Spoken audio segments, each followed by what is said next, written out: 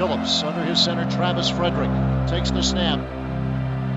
Toss right side, Montee Ball to the 20, to the 15, ball to 10, ball to 5, ball to the end zone, touchdown Wisconsin!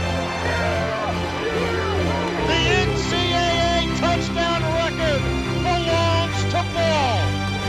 Congratulations.